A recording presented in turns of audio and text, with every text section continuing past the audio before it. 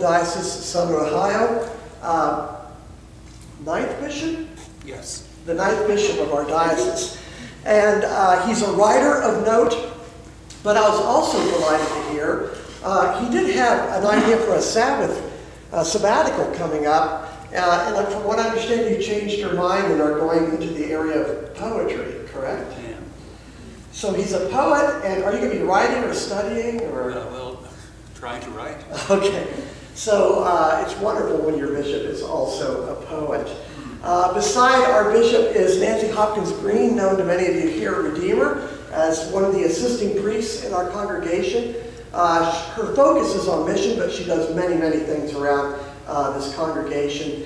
Uh, she's also an editor and a writer at Forward Movement Publications, which is uh, located in Cincinnati, but it's a ministry of the National Episcopal Church. And thank you for being with us, my colleague.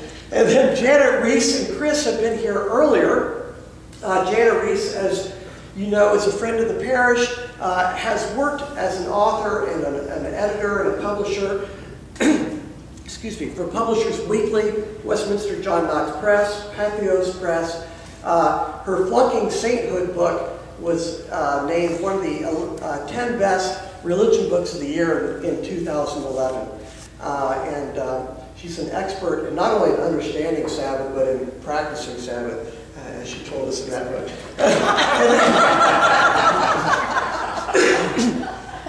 and last but not least is, is Christopher Smith, who was our first speaker at the beginning of the Lenten Spirit, uh, series as a member of the Englewood Christian Church on the Near East Side of Indianapolis. Uh, he is the founding editor of the Englewood Review of Books uh, and the author of five, uh, but he's currently finalizing um, uh, the text of a new book with the very intriguing title, title of Slow Church uh, that he's co-writing with John Pattison. Uh, he, Jana, uh, are also very significant bloggers. Um, please welcome our four guests tonight.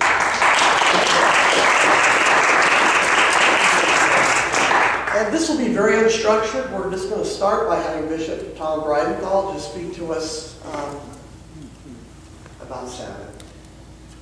Thank you very much. I'm not a poet. That's what's scary about the sabbatical that's coming up. Um, I used to think of myself that way many, many, many years ago. Uh, so, but sabbatical actually comes from the word for Sabbath, Shabbat. So um, I'm hoping that I will have a time of rest, which it becomes a time of encounter, which I suppose is partly what I want to talk about this evening a little bit. And I'm very, very uh, honored to be part of this distinguished company.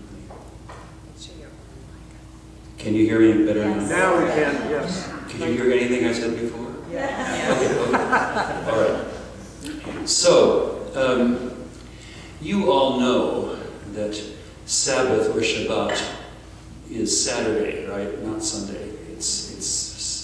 Uh, the Jewish Sabbath begins on Friday evening and goes until uh, nightfall on Saturday evening. And that's important, I think, for us as Christians to keep in mind, because uh, it is a, it's very confusing when we refer to Sunday as the Sabbath. Since for early Christians from the very beginning, the whole point of Sunday was that it was, um, it was a reminder of Easter, and it mattered that it fell on the first day of the week, not the seventh day of the week. The idea was that just as God began creating the world on the first day and rested on the seventh, so on the day that Jesus rose from the dead, a new creation began, a whole new cycle of creation, which was the redemption uh, and fruition of God's original creation. So for Christians, it's really important that Sunday is not the Sabbath. It's not in any way a denial of the profound sanctity and importance of Shabbat. But Sunday has its own meaning as first day, or as I'll say later, perhaps eighth day. And that really links up with the, uh, the ancient Christian understanding of what we're doing when we worship on Sunday. Sabbath is about rest, but what we do when we worship on Sunday we call liturgy, which means literally the work of the people, not rest, but work. Beat urgeia. Urgos means work, ergon means work,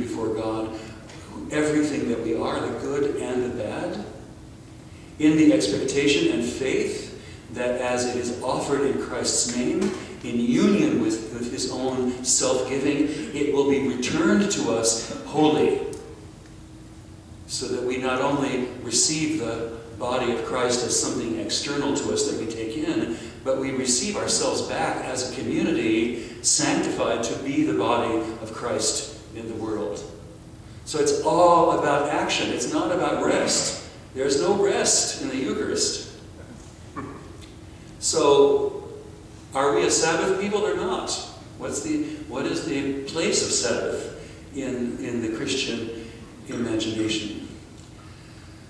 I, I was uh, playing around with this idea actually last week as I was preparing a sermon for last Sunday. Uh, we were at church on Sunday. You know that we heard from John's Gospel about how Jesus uh, comes and has dinner with Lazarus and Mary and Martha um, on the night before the before Palm Sunday, and uh, and how Mary brings out the costly nard perfume and bathes his feet with them and washes his feet with her hair, and Judas gets mad about that, and, and so on it goes. But John, I was fascinated by that. It had really, really struck me that John is very, very clear about what day of the week we're talking about. He says six days before the Passover. And since in John's chronology, Passover happens on the Sabbath, on Saturday, and Jesus dies on the day of preparation when all the lambs are being slaughtered for the Passover feast. That means if you count backwards, this dinner that Jesus is having with Lazarus and Mary and Martha comes on Saturday evening. So it's the end, it comes at the end of the Sabbath. There's a, the Jewish name for that is Havdalah. It's the ceremony of the escorting of the, of the Sabbath uh, out of the house and giving thanks for the Sabbath, uh, smelling sweet spices as a reminder of the sweetness of the Sabbath, which I think is related to what Mary is up to when she brings out the nard and the singing of a hymn to Elijah, the prophet, uh, who will, whose coming will, uh, will portend the arrival of the Messiah and the Messianic age that is the eternal Sabbath when every day of the week will be Sabbath. So what Mary is doing is identifying Jesus as the Messiah and recognizing in him the inauguration, the dawning of a Sabbath which is not over, but is going to go on forever. And that, it seems to me, uh, is, is the theme that pervades the New Testament. If we're thinking about the New Testament through the lens of Sabbath. Jesus is bringing in the eternal Sabbath, the Sabbath rest which will never, will never end.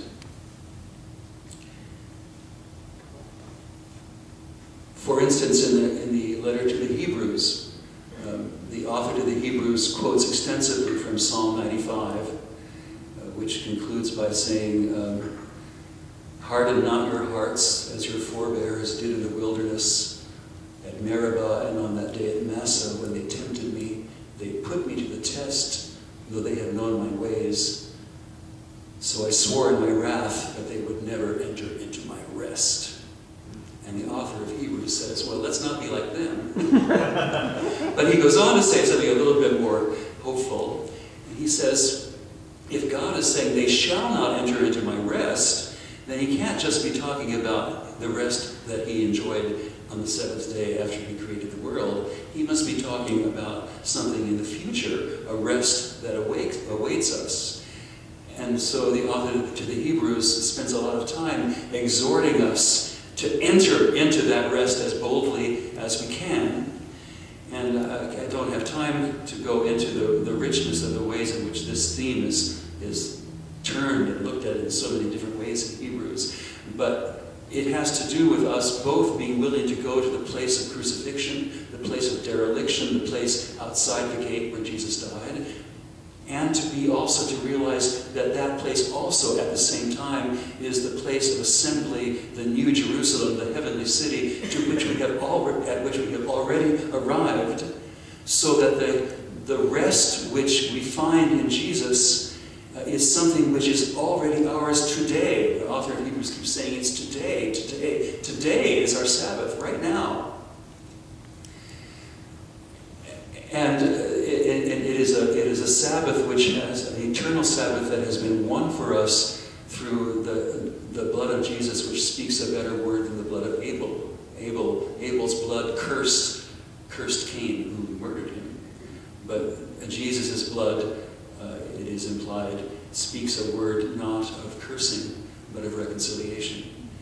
So the rest that we find in Jesus, whether we find it in identification with his suffering or in identification with the, the assembly of all the holy ones who have accepted faith on his, accepted salvation on his terms, that's, that, that, that rest is essentially the peace that comes through reconciliation and which we are called in turn to be, uh, to be ministers of.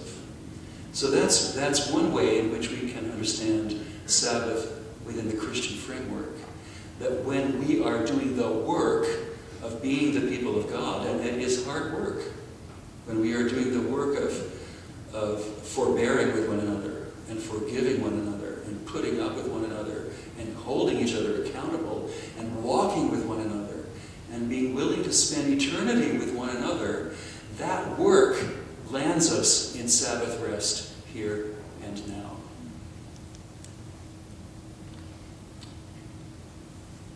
Let me just, I've already gone too long, on too long, but let me just, just tell you about a passage in the Gospel which I think helps us understand uh, this tension between work and Sabbath rest, which I think lies at the heart of Christian thinking about um, following Jesus, being with Jesus, uh, in communion with Jesus, worshiping uh, the Father in the Holy Spirit every Sunday morning, every eighth day, every, every anticipation of the eternal Sabbath.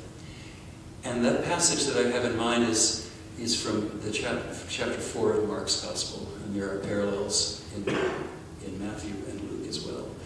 And it's when, it's one of those many times when Jesus is crossing the Sea of Galilee with his disciples, and there's always a storm or some problem. and this time there's a really big storm, and the, the disciples are afraid that they are going, their boat will, boat will sink.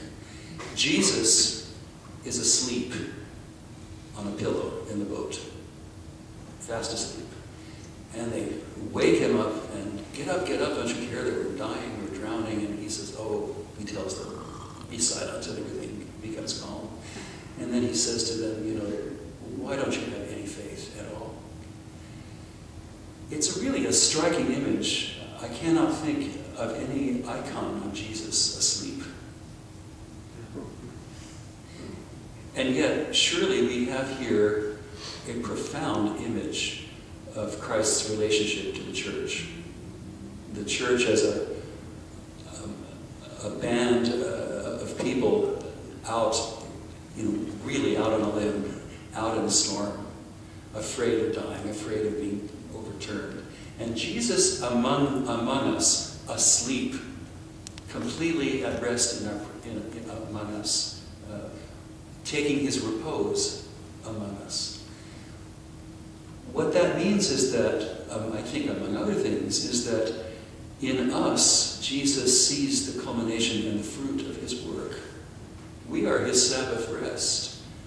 Because as messed up as we are, our struggle to live lives of faith and reconciliation, our struggle to enter boldly into the rest that Jesus has prepared for us, is in fact Jesus' rest. It is the culmination of Jesus' work. We are his work. And therefore, we are the beginning of his eighth day. I'll stop there.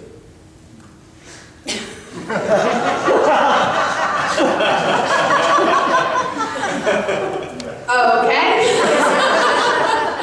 Thank you very much, Bishop. Um, I'm just trying to think of where even to begin. How many people um, have been here for every one of our Wednesday nights? Okay, great. How many, um, how many have been here for every one of the Sunday mornings? Definitely try. So we've had a lot of us, and, and we've been at it since the first Sunday in Lent, talking about Sabbath. And what strikes me is we don't run out of anything to say. And what you just said, we have not heard. we had uh, Walter Brueggemann here to talk to us about the Hebrew Bible and Sabbath two times. I mean, really challenging um, looks at first time work at, or Sabbath as work stoppage. His second time he looked at um, Sabbath as resistance. And it seems like, and then Chris had already talked to us a lot about our theological, our understanding of work and what its role is for the church. And uh, Jana came in with a Sabbath manifesto and telling us all about, about the Sabbath. And again, you've put a whole other spin on it. And my biggest, um, the biggest thing that I feel like I want to offer is let's make sure we don't just move on to the next topic when we're finished with this one here at Redeemer. I don't think we've talked about things that we've struggled with more, that we've wrestled with more, and I'm quite sure that we are not going to find an answer in this life until our Sabbath rest on how to do it. But the truth is we've been much more about, um, about practical, um, practical, how do we do it in our, in our everyday lives. And we've rubbed up against a whole lot of questions. And so I'm just going to maybe offer some of those as a synopsis for all of us and put a little bit more, um, a little bit more grist in the mill. But you're talking about, um, you know, the question around whether Christians are a Sabbath people. That um, I remember reading in one place, um, someone just simply saying that in the resurrection, Jesus superseded the Sabbath, and we don't need to do that anymore. And I'm quite sure that um, one thing that we found in all of our reflections is somehow, um, whatever we call it or however we do it, it's something that we need to have in our lives. I was the speaker on Sunday, and I'm not going to um, going to recap that, um, but I shared a little bit with with everyone about my own history of trying to observe the Sabbath. I called my um, talk "Confessions of a Sabbath Breaker," And um, I could just go right along with that flunking Santa thing, Jan. I'm right there with you. Um, but but it's been something that we've been, my husband and I have, been intentional about for, for all of our marriage, and it's gone through so many different, um, different uh, faces and ways of dealing with it, and um, and it's not resolved. You know, you go from the one bedroom apartment, and it's easy to have a Sabbath when you don't have kids, you don't have a house, you know, I didn't have a job. You know, I mean, it was it was great. But then suddenly we add children and we add house and responsibility and full time work and so on and so on. And so observing the Sabbath at all is a challenge for us. And again, I'm feeling like I'm just picking up, I'm not even picking up on what, what Bishop Breidenthal said, but I'll throw out what I want to throw out. There's one thing that is, there's, there's one thing that, that has um, probably struck me more than anything anybody else, anyone has said. On uh, February 17th, we had a guest uh, preacher here, Matthew Sleeth, who um, has written a book called 24-6, and he's, a, um, he's, he preached with us, although he is not, um, he's not an ordained minister, he's an emergency room doctor who's devoted his life to issues of faith in the environment. But it was not in his anything he said in the presentation or the sermon, but in um, in a casual conversation afterwards that she said um, something to the effect of she and her husband are recent converts to Christianity. Uh, recent as in 10 years ago, it's been in their adulthood. And she said that they came to faith through observing the Sabbath, not that they observed the Sabbath when they came to faith. And to me, that is one of the most powerful things and such a challenge to us as we go forward to this is can we really trust enough to do it? Can we trust enough to start um, towards, and I think it's a little bit like tithing. I think you need to do it to be converted to it. And we talk about the gradual tithe. I think we're going to do the gradual Sabbath. um, and, and I think that if we can do small things in our lives to carve out time. We have talked about um, everything from uh, how do we do it? What's the role of technology? Do we need a stop day or do we need Sabbath moments? Matthew Sleeth is big on stop day.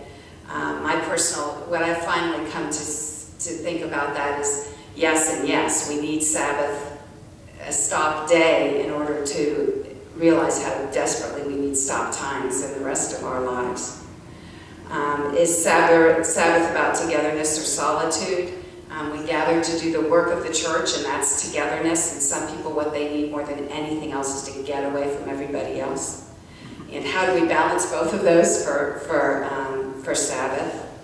Uh, does Sabbath observance restore the rules? Um, we, that's kind of come up off and on in, in various ways. Is we don't want to become yet another people that put up rules on what we're supposed to do because then we start living under the law. Um, what if you're retired? What about the fact that different personalities, Jana pointed this out, that Sabbath activities are different for different personalities. And um, different members of the family can have a very different idea of what is not work and what is rest. And, um, and then by the same token, in families, clergy families like ours, is what happens when you can't when Sunday is definitely work day for us. It's not debatable for, I mean, it might be debatable for other people, or maybe they can carve it out for other things, but it's a work day. And how do we then have a Sabbath when our family is on a different schedule and so on. Um, my daughter would love me to tell her one day a week, don't do homework, and the schools don't along with that, or truancy in general, because I think we include not going. But I just, I want to read, um, I want to throw some stuff out, and then, and I think that'll be enough. This is a quote by Wayne Muller, who, on his book on Sabbath. He said, he wrote, our willingness to rest depends on what we believe we will find there. At rest, we come face to face with the essence of life. If we believe life is fundamentally good, we will seek out rest as a taste of that goodness. If we believe life is fundamentally bad or flawed, we will be reluctant to quiet ourselves, afraid of meeting the darkness that resides in things or in ourselves. I thought that was a very powerful statement about, and it, it brings us to the question of what are we afraid of? What are we afraid of? That we don't, we can't trust that the world will keep spinning, that God, the Creator, will keep creating um, as God does, that the salvation of ourselves mostly, but the world does not depend on us keeping at it 24 7. That's one piece. Another piece for me, and I guess, I mean, when I was uh, when I did my presentation um, on Sunday, I felt, I almost, it really wasn't meant to be funny, but I, by the end I felt like I was some sort of a stand-up comedian because I was really talking about the reality of life and where everything sets in, everything from, you know, my me becoming resentful because my husband's taking Sabbath while I'm doing the laundry or putting the garbage out, you know, and, and all the dynamics of how we, we start and stop our way through this. But it's really serious. I think this is, I've come to believe this is, this could be the hinge point of, of our salvation, not whether we go to heaven, but the world. And one of the points that Walter made was if we don't, if we don't step aside, if we don't set that time apart, um, that is the place where we imagine it, imagine alternatives. It's where we imagine possibilities, where we imagine possibilities for our individual lives and for the world. And if we look at everything from partisan politics in the United States to the environmental crisis to anything, we need that time to set, to reflect, is what he kept saying, to reflect, to imagine possibilities, or else, or else. So I guess that's one piece that I've, I've found myself increasingly challenged with and I haven't really thought of before. And again, um, he talks about it in terms of empire and the need for us to resist the forces of Egypt and the brick making and the, um, the ethos of our society. But could it be that this is a huge, huge, huge thing that we need to set a time rest? Another thing is just how idolatrous it is. And again, I, I say this as, as, a, um, as a Sabbath breaker, that we begin to think that, that, that we need to keep at it longer than God did. God created the universe in six days. And, um, and I mean, however we, whatever we believe that to mean or however we take it, for us to think that we can't, that was God, but this is us, and we need to do it. We are simply saying that we are God, and that we, the God, that um, we are playing God, is idolatry. And finally, I guess, it's also that time apart is a place where we create space for grace. And again, if the minute we get on the treadmill of thinking we need to do all these things, and it, again, it's, it's a lot of really, really, really good things that we do in our lives. But if we can't step out aside from them, um, we are saying that somehow Jesus needs us, or somehow we earn our own salvation, or we need to do it. And it's a complete failure to trust. And so I guess, um, I guess I've come to re realize how fundamental this is. I knew it made life better. And I knew that I'd had times in my life when I've observed the Sabbath and times when I hadn't. And I was, um, one thing Matthew Sleeth said was it makes you more productive when you're, when you're working, if you take time off of work. And I think it's very powerful, and I think it's one of God's biggest gifts to us. And I hope, I hope it won't be another one of God's gifts to us that we don't receive gratefully and um, joyously and um, take the invitation um, to, to receive it. I think that's enough for me. I want to hear from you. well, first of all, I should qualify in a massive way what Charlie said, which is that um, I'm not an expert on the Sabbath or keeping the Sabbath. I'm still learning, but it's an enjoyable process to learn. So, so there, Charlie. Take that. Um, I think that I've been reflecting on a couple of different things as we've gone through this in the last five or six weeks.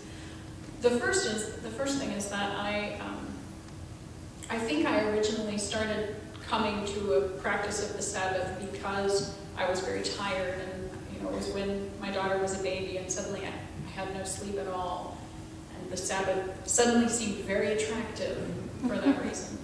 But it was also a bit of a rebellion against the legalism of my church. You know, I'm a Latter-day Saint, uh, groupie of the parish. Official title.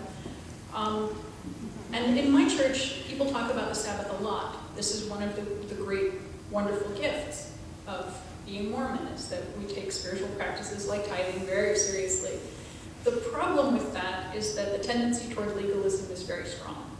And so when I became a Mormon, I felt like people were talking about this interesting thing called the Sabbath, but I didn't like the conversation that they were having, which was, do this, don't do this, and mostly the don'ts, focusing on what was not appropriate for the Sabbath.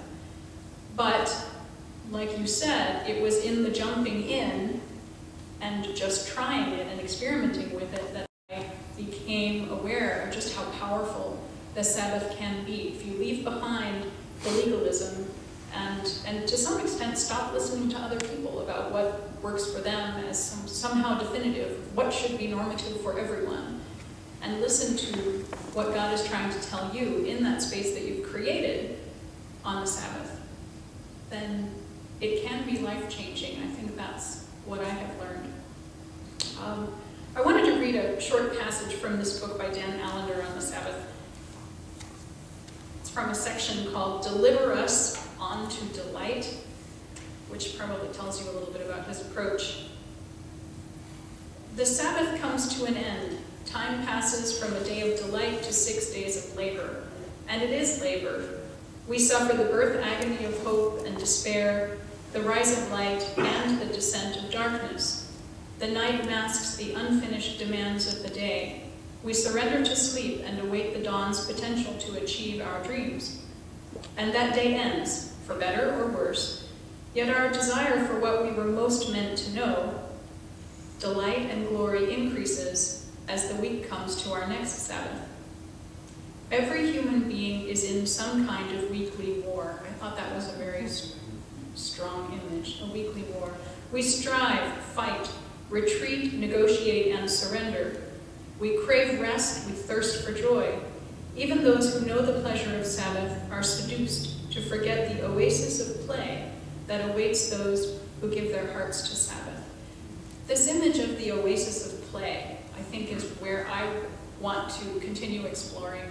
And I don't play enough in life, and that's, that's a problem. I've been a little too serious and tend toward workaholism a bit too much. Phil is smiling. Yes, it's true. um, thinking of God taking delight in creation and then taking that and applying it to how we might delight in the abundance of life, that is what Sabbath has come to be about for me. And then the last thing that I would say, without weeping, is that Sabbath has changed a lot for me since my mother died two months ago. And somebody made a comment here, the, um, when I was speaking, that the temptation of not wanting to quiet ourselves because we are so afraid of what will come out when we do, when we settle and when we, when we take the time to really listen for the voice of God. That can be a terrifying thing. And as I, I'm trying to negotiate this, this life without my mother, um, don't be nice to me. it makes it so much worse. you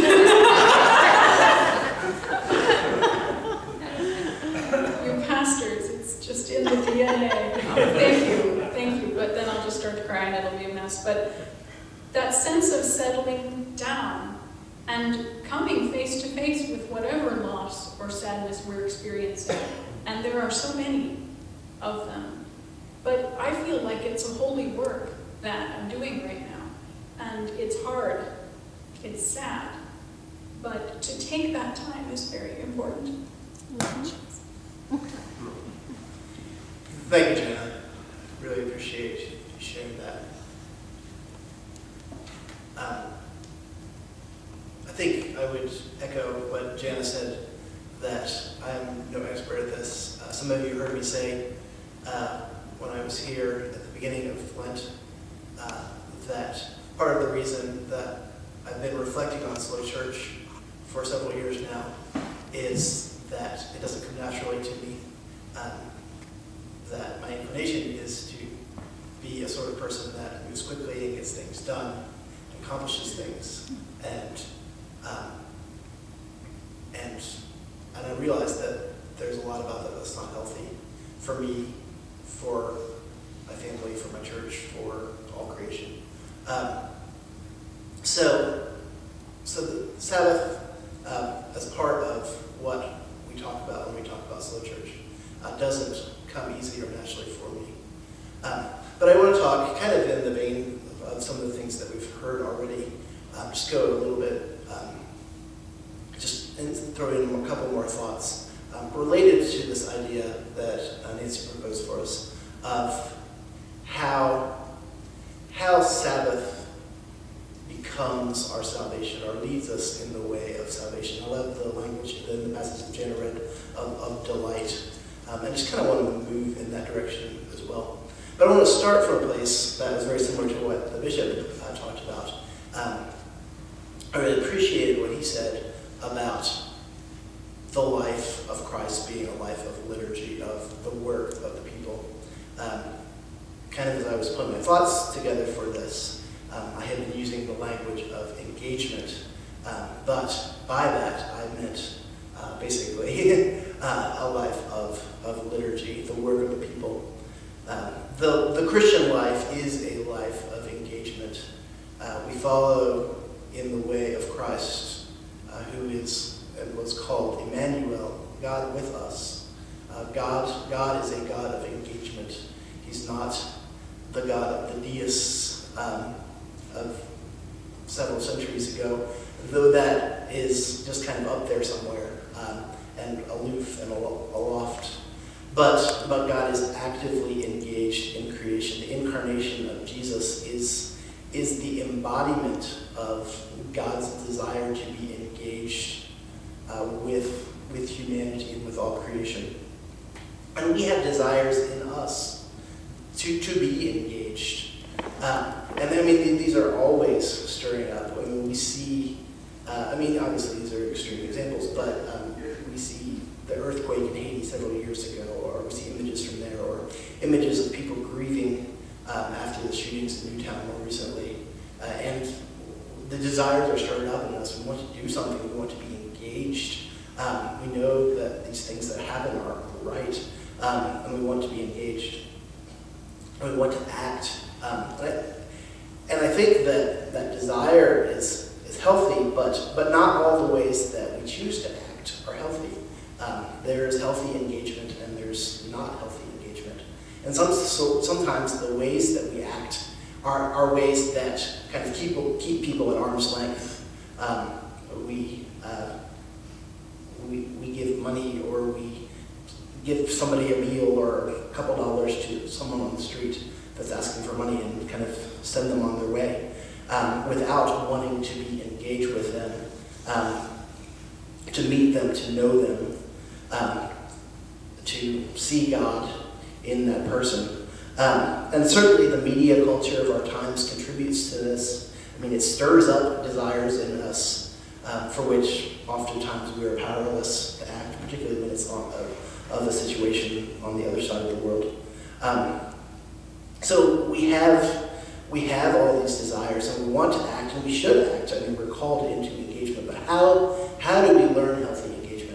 And I would maintain that Sabbath practice is one of the primary ways in which we learn how to engage healthily in the world. And we've heard some of this already um, in what Nancy was saying that um, that Sabbath is a place to reflect, and, and in, the, in the space of reflecting, um, reflecting on situations, reflecting on grief, um, uh, that we learn how to to live within that, um, live within uh, the life that we've been given.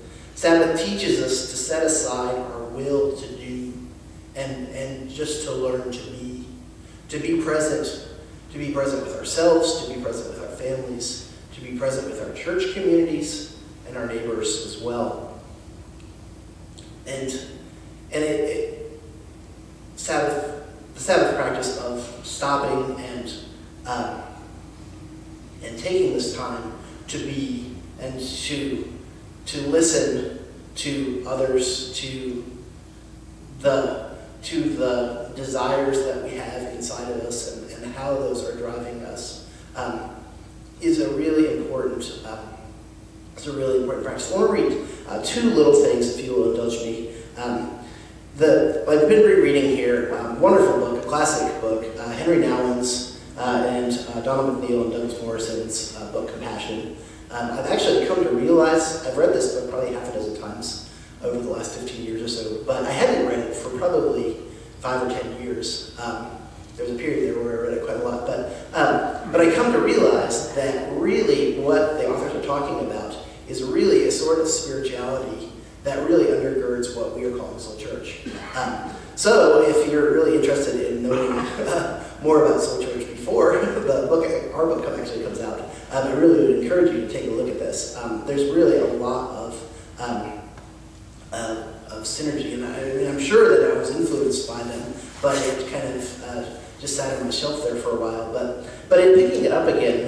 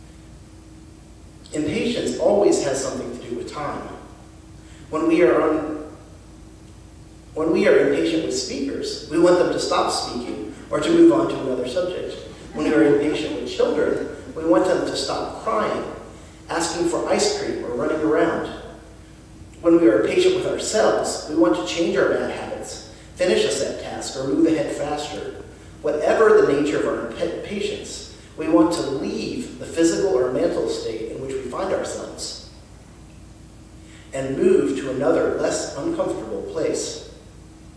When we express our impatience, we reveal our desire that things will change as soon as possible. I wish he would show up soon. I've already been waiting here for an hour and the train still has not arrived. There's no end to his sermon. Have we said that? How much longer before we get there? These expressions betray an inner restlessness that often shows itself in feet tapping under the table, feet, fingers nervously intertwined, or long, drawn out yawning. Essentially, impatience is experiencing the moment as empty, useless, meaningless. It is wanting to escape from here and now as soon as possible. And I mean, I think that Sabbath practice, I mean, in teaching us rest, as we've already talked about, I mean, teaches us to be patient, teaches us to learn what to do with those restless moments that we all have. And I just wanted to, in closing, read one more thing. Um, and this is from uh, one of my favorite writers um, that you may or may not be familiar with. He's actually an art critic. Um, uh, and wrote, wrote, wrote a wonderful book um, a few years ago called God in the Gallery um, Modern Art and the Practice of the Church, or something like that. I know it has modern art in the subtitle, I can't remember. But his name is Daniel Siedell. Um, and he wrote a wonderful review uh, recently for Books and Culture magazine about the work of Spanish painter, Spanish realist painter, um, Antonio Lopez Garcia. Um, and it's just, it's just a, a, strikingly, I mean, you might not think of a book review as a, a really well-crafted, beautiful um, piece of writing, but, uh, but it brought me to tears the first time I read it, but I'd like to read just a little snippet of that, because I think it's relevant to what Sabbath does in us. Um, I'll see if I can read it without crying myself here. Uh, All right, well, see. Um, But again, you'll see the, the sorts of, the sorts of themes of engagement um, and rest here. Siedell writes, a painter does not paint what he knows, but paints in order to know, to discover something about himself and the world. For Lopez Garcia, the process of painting is a struggle, a knock-down, drag-out brawl with the world, which refuses to yield its secrets or give a blessing too easily. He is notorious for working meth- methodically and meticulously, which has limited his production and consequently the opportunities he has to show his work, averaging only about two solo exhibitions per decade, which is barely any at all. In, in an art world in which artists generate multiple exhibitions each year and whose studios resemble factories, it is refreshing that he approaches the production of each artifact, whether a painting or a sculpture, with almost sacramental focus and care.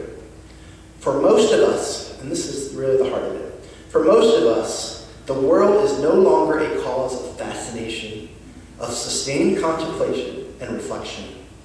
A bird is just a bird, a vase of flowers is just that. And the grace of this man or the charm of that woman is buried beneath a multitude of judgments we make about them as they pass us.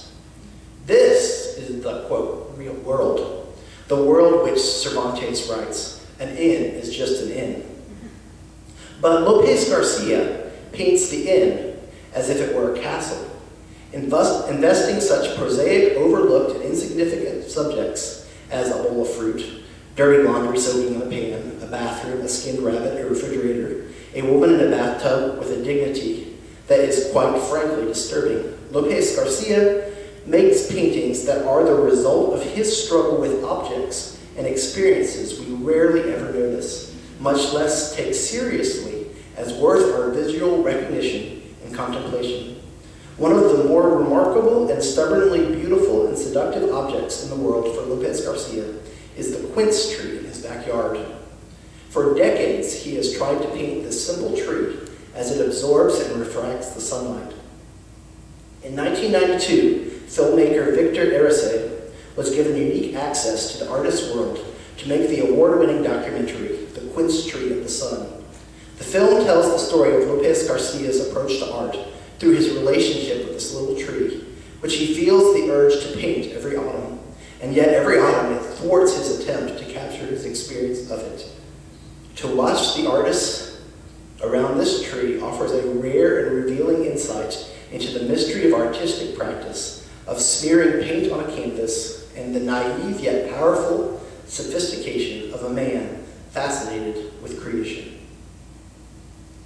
And I mean, I think that's, that's what Sabbath does to us. I mean, it teaches us to be present and to see the wonder and the fascination that is in the everyday world, the everyday people that, that surround us. I think that's where I will stop for now. That's amazing, wasn't it? Before the.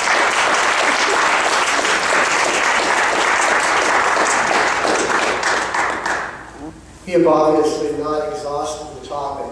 Uh, Thank you so much for those wonderful insights and for sharing them with us. Um, What I would see happening now, if okay with the panelists and all of you, is simply to have uh, an ongoing conversation here. If if you guys want to add more ideas, please feel free.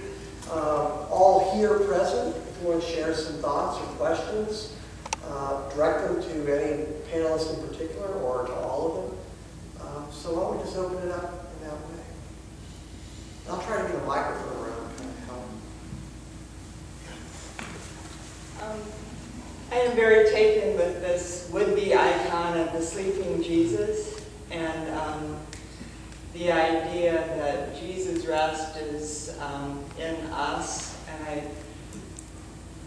I feel like we may be missing something in our tradition that that, that isn't an image, and um, we don't really know how to practice this idea or the idea that all shall be well, all is well, and we always want to fix things. And I I guess I'm obviously directing this to the bishop. Is, is there something that we've lost or somewhere where we can turn in our tradition um, or in our understanding to um, fully appreciate this idea?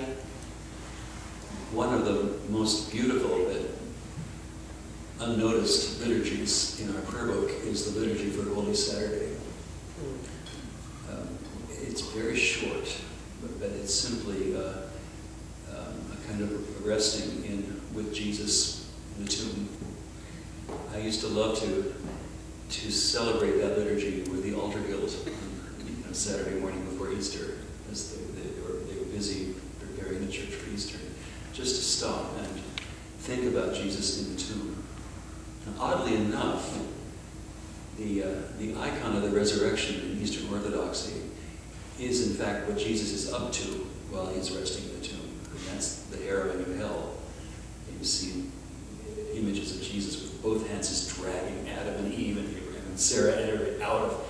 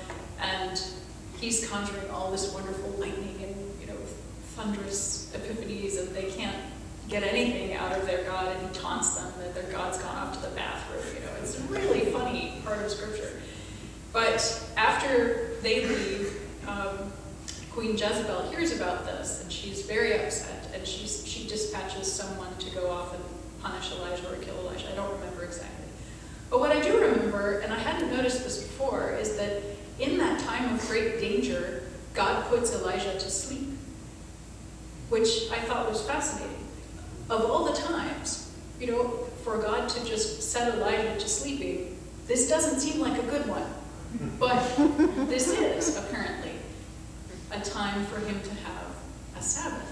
I don't know what to do with that exactly, but it just struck me as really interesting.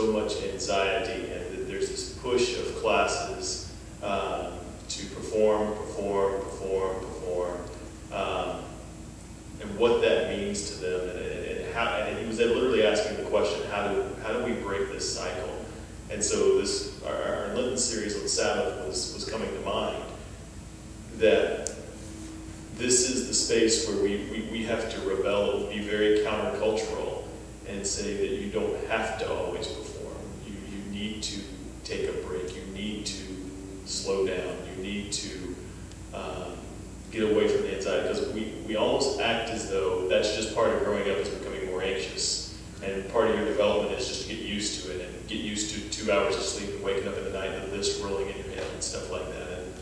And, and you should just deal with it as opposed to that's not healthy at all and need to take a cultural pause. So, which is fascinating. I had a 21 year old though who was really experiencing this lack of Sabbath in his life.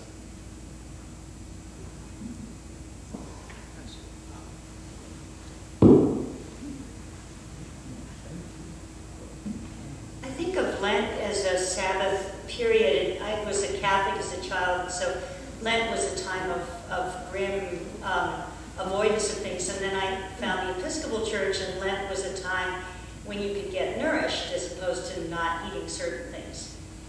And um, I didn't make any plans for this Lent. I was just going to keep working every time I wasn't asleep and um, do the thing I always do. But then um, Cindy invited me to come to this series, and I found that each Wednesday that I came here, there was a wonderful um, letting go that made room for two strange things that I don't usually experience. Uh, one was a sense of um, childlike anticipation and um, humility, like there were things that were going to happen and I didn't know what they would be. And the other was um, a, a sense of trust that was reinforced each week because each week that I came, not knowing what was going to happen, something wonderful happened each week and it just reinforced my expectation that a wonderful thing would happen seven days later. And um, this combination of humility and not being the boss of it, but, but being the recipient of something um, wonderful that just made me anticipate the next week with, with more trust and more joy has been a real gift of this series to a non-parishioner here who is glad that you opened your doors and made this happen. That is wonderful. Thank you for sharing. Uh, Chris, I was really taken by uh, your use of the word patience. Um, I think that's a beautiful word to describe the state of mind or the state of heart that one uh, moves into in order to experience Sabbath. Uh, it ties so beautifully with what Nancy said about the idea of uh, the world will spin without you. Um, and so it's okay uh, to step back from that. And it's in the stepping back from that that, that these that possibilities and, and, and opportunities will come to bear that will not when you're in a 24-7 tube. Because when you're in a 24-7 tube, you're going down that highway as fast as you can, and you can't think of the alternatives or the options.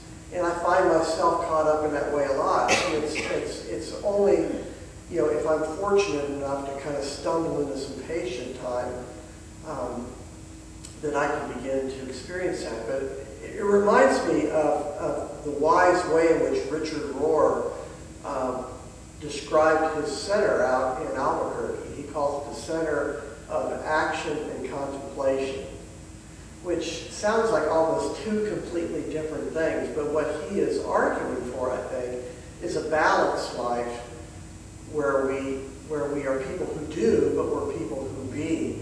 Uh, and, and we would, and, and it's to our peril if we don't do either. I do remember, uh, I think it was Walter was, responding to a question like that.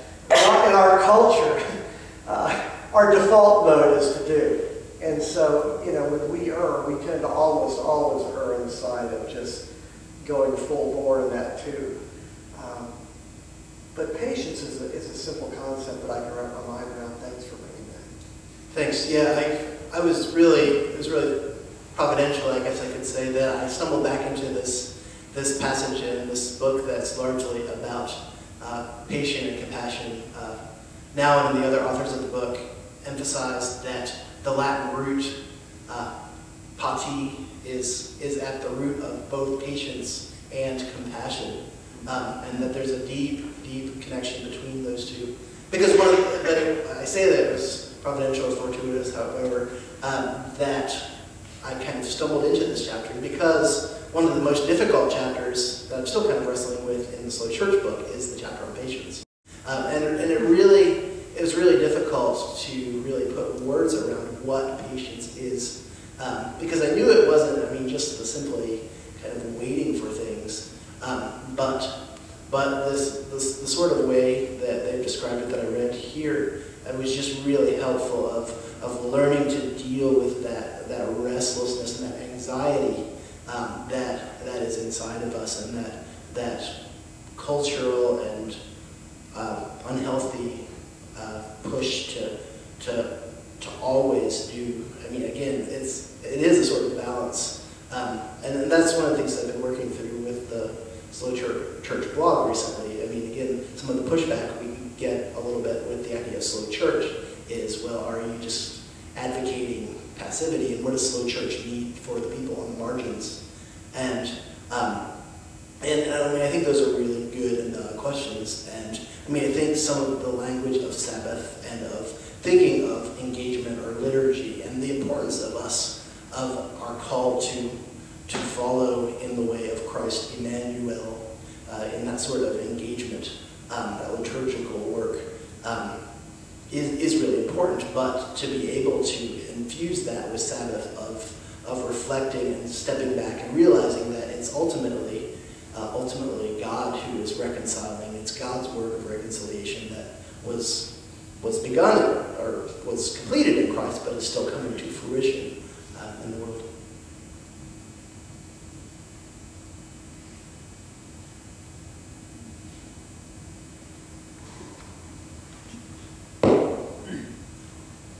Chris, um, I'm not quite sure I know how to put this, but your use of the term engagement uh, strikes me or struck me, and I get, rightly or wrongly, I get the impression that engagement to be true engagement needs depth. And I guess I find myself taking exception to that in some cases that, for example, the, the individual on the street, that as you're passing by, um, they have a sign up for homeless. And this happens so often at um, stop signs. Um, if you respond to the request, at that moment it's not possible to engage with that person. But I suggest that the engagement can take place afterwards if you happen to say a short prayer for that person. Sure, I mean, I think that that's reasonable. Um, I mean, there's a lot of different ways that uh, that encounters like that can be navigated. But but again, I, appreciate uh, appreciate your your comment um, because I mean, I think that that we can't always have like the deepest and most intimate encounters with everyone that we meet. And there's, I mean, part of the engagement is simply a constant discernment of, of how do we how do we meet God in this present moment. Um, and, and, and, that's going to look different uh, with different people in different situations, I believe. Um, and I mean, that's just the nature of, of, of life. And I mean, the, I mean, some of the things that I read about Lopez Garcia and uh, just all the, the wonderful things that God has for us uh, in, in every moment and every encounter. And to learn to be attentive and to be present to those things as they come along is, is, uh, is for me at least, fundamentally a part of what is.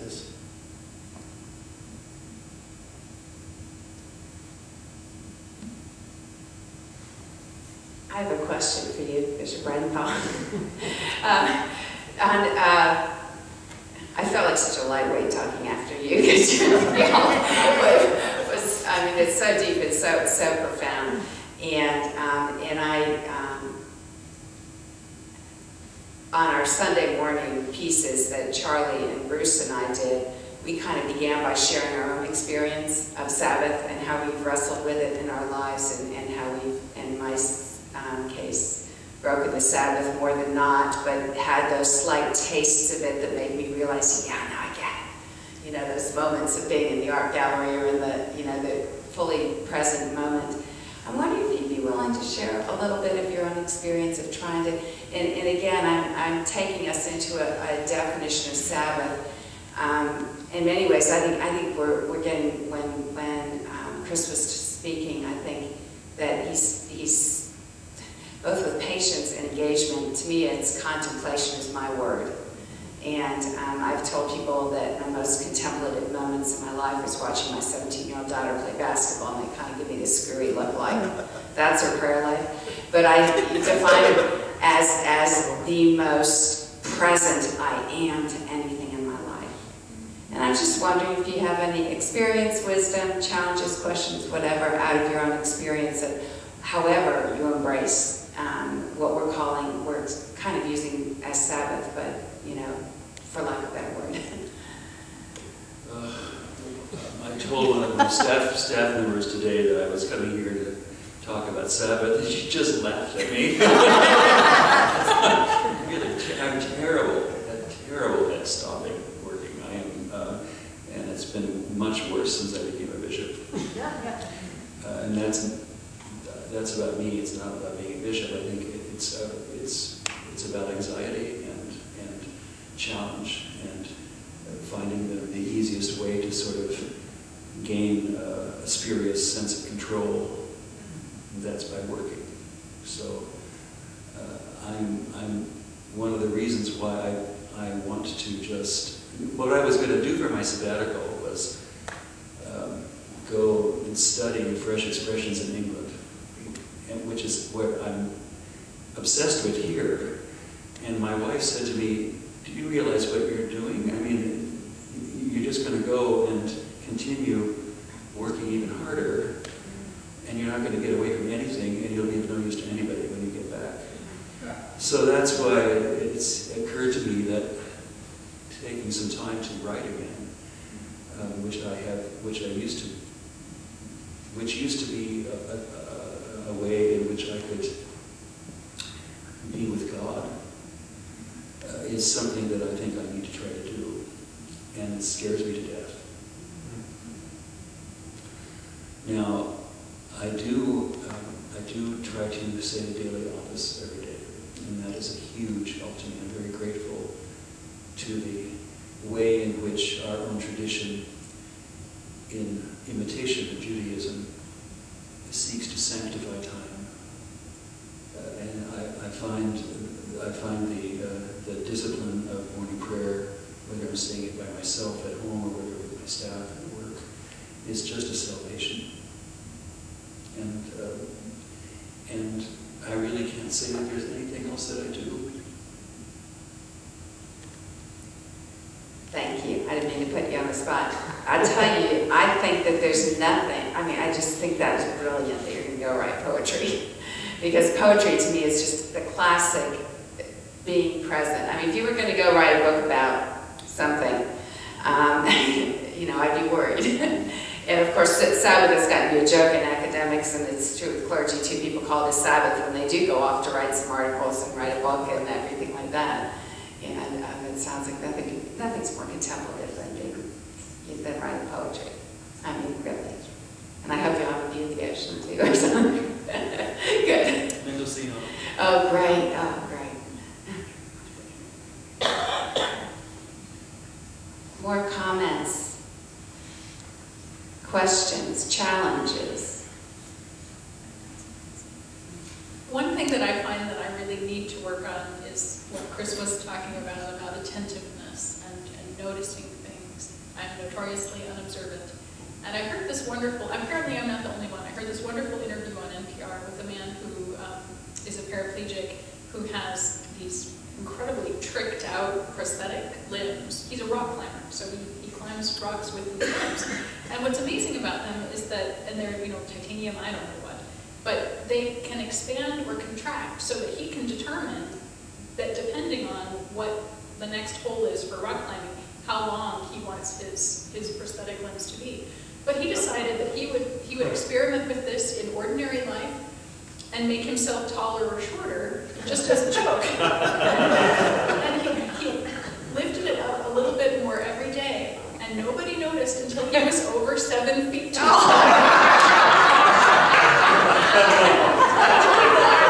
I love that story, but it's such a great example of how unobservant most of us are. Have you seen a seven-foot tall man walking around in prosthetics? Yes. Notice it. That is so great, and that, that's, a really funny story, but it, it, it really brings two things together in my mind that, that suddenly have come together. When we talked about Sabbath as a time when you, do you gather with your family and um, have a meal and engage, engage with other people, um, or do you go off and take a walk in the woods by yourself because what you most need is solitude and quiet and so on. But um, paying attention is what you're doing in both of those situations. You know, if you're eating a meal, you're really eating it, tasting it, noticing what you're eating. If you're with people you love, you're attentive. If you're doing a walk in the woods, you see. And that gives you the time set apart. Um, I, I want to uh, do a, a witness to the power of this uh, series, much like Ariel did. Um, man, this microphone's alive. Um, uh, our vestry went away board chairs on a retreat, what, about three weeks ago?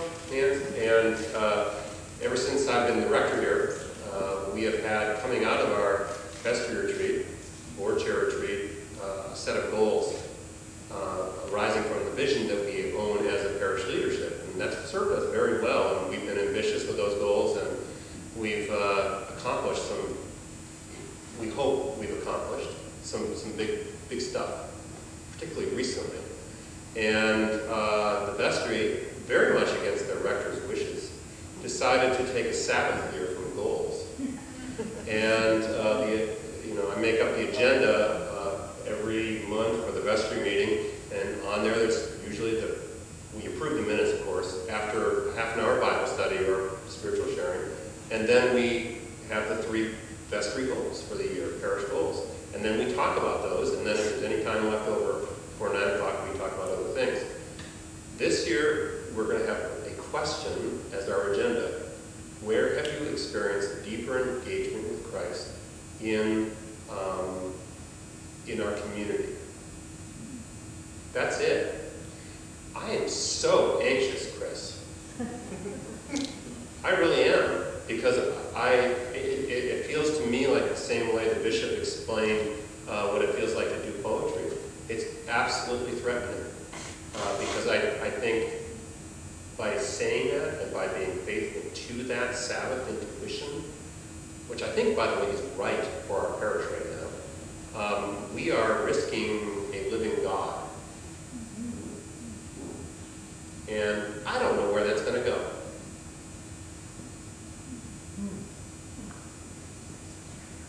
Risking a living. Risking an engagement with a living God, excuse me. Wow. I mean,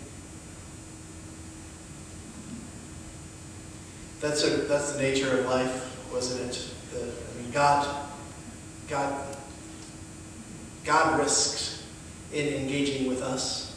Uh, did not consider it something to be grasped, but came down in the flesh, the incarnation. Um, and, and it's always there. I mean, Sabbath, Sabbath is a risk. I mean, we don't know what we'll find when we're present with ourselves or present with with someone else. It may be it may be really ugly. It may be beautiful. Um, I mean, eventually, hopefully, beauty will come out of some of the ugliness that we find. But um, but yeah, it, it's always a risk. I think that's I really appreciate you you naming that.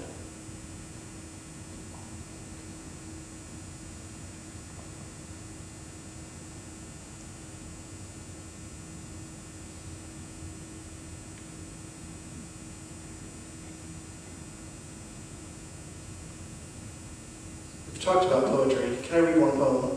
this has been really, this is not my poem, so uh, I can, I'm not indulging myself here, but this is a poem that's been really important for me.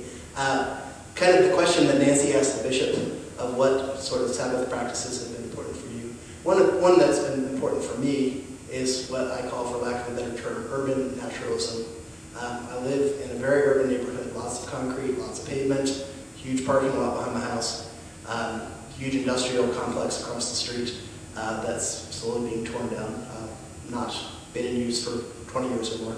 Um, but, but I believe, I mean, for some of the reasons that uh, I took, that came up in the, in talking about the art of Antonio Lopez Garcia, um, I mean, I really believe that there are wonders to be found um, in, in that neighborhood, in, in the place that a lot of people would consider to be pretty dull, gray, uh, uninteresting urban place. But, but as I have experimented with this off and on over the last couple of years, I've really been encouraged by the poetry of the agrarian writer um, Liberty Hyde Bailey, um, who was uh, uh, was probably the preeminent, preeminent botanist and horticulturalist in the early 20th century. Um, but he also did a significant amount of nature and agrarian writings, um, uh, very much an influence on Wendell Berry.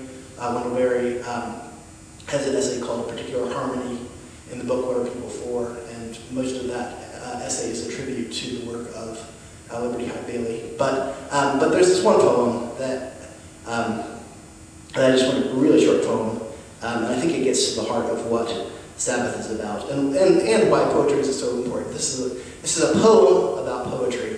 Um, it's called Poet. Tell me, O poet, where thou dost live. Show me the place whereon thou dost stand. Lead me to the crests that give those wondrous scenes thou dost command. And let my waiting soul enwreathe the rare airs thou dost breathe upon thy diamond shore. He took me by the hand and led me to my own hearthstone. We paused upon the wonted floor and silent stood alone, till all the space was overpent with a magic wonderment. And I found the poet's store on the threshold of my door. It's that magic wonderment that that Sabbath is about. It's the gift, I appreciate it the several times that it's been talked about. It's a gift that we, we receive and we learn gratitude by learning to, to receive that and to, uh, to be shaped and formed by it.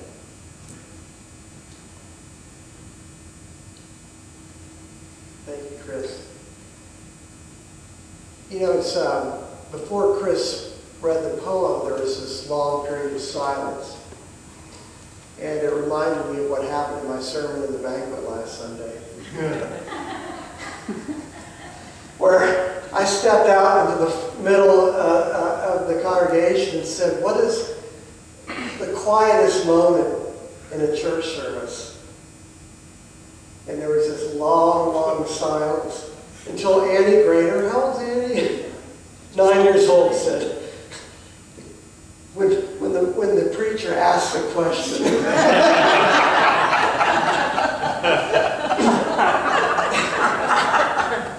and, you know, I, I was, before she spoke, I was getting anxious, but, you know, that's what the patience is, is allowing the silence, which then allows possibilities to happen. And uh, thank you for the poem that came out of that silence. Um, I think it might be appropriate this time, uh, Bishop, if I could surprise you and ask you to send us off with a prayer or a blessing. Sure. We, let's stand up.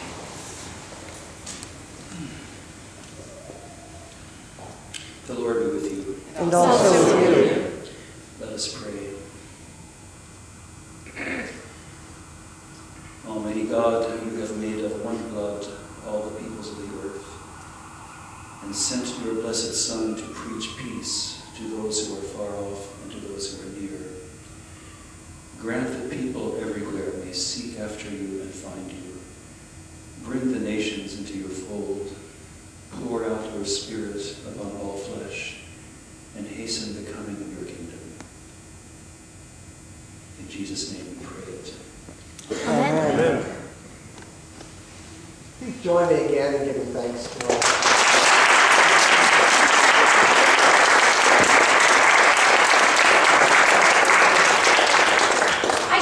announce that Betsy Schramm is here with some books. Um, but there's one in particular that I don't